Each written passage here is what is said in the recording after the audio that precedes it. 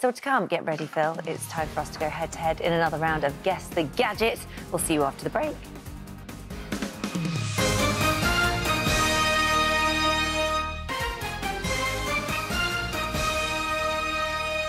Hi, uh, welcome to This Morning. Now, as we can't be with you live today, we have lined up some of our best bits to enjoy.